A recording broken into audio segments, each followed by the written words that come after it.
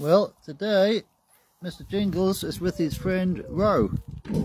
He's got many animal friends, Mr. Jingles. He likes Ro, he does. and Ro likes him.